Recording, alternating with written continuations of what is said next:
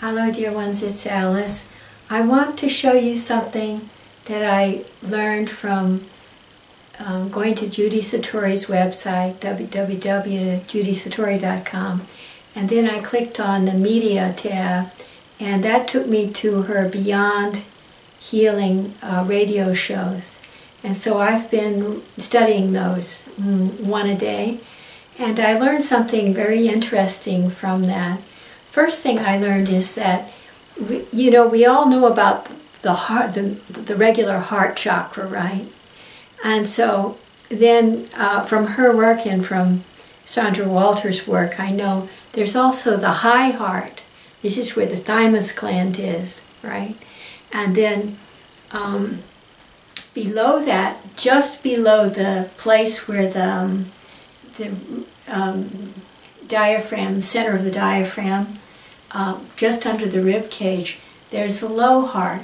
So there are three uh, like um, aspects of the heart chakra to consider, and and if we're meditating or like concentrating on healing the heart, we can place our left hand on the um, just below the dip, upward dip in the rib cage, and and place our right hand just below the um, collar, where the collarbone is at the top, and, and consider all the space in between those two places as our heart. So, so taking that into consideration, um, I, I found a very good free Karma Klear um, activation on her website under the Karma Klear category called Grief. And that clears this whole area um, from, it had an immediate effect on me today. And it clears not only this incarnational grief, but, but um, far lifetimes back, all the grief that we've, that we've had in our many incarnations. So that is a very cool, um, a very cool activation that she has, and uh, called grief.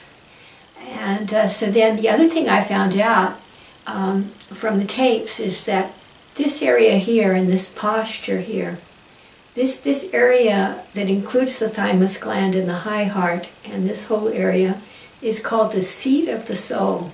Isn't that cool? The seat of the soul.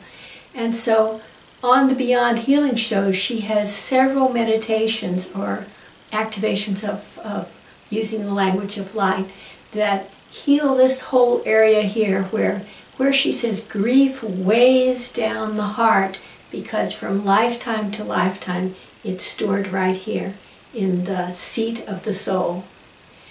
So um, let me see. Then I I went to another um, free Karma Klear activation, a language of light that she had. It's for the soul. How did it go? For clearing the soul, I believe. And, and, and between those two, grief and clearing the soul, it clears out this whole area through here. So I thought you might like to know that, that there's a, pretty quick way to clear, clear all, all this area of, of past incarnational grief. And um, I, I would say, just as she says, just keep doing it for a while seven once a day for seven days, once a day for 21 days, or for however long you want to, depending on how deeply affected you are by it.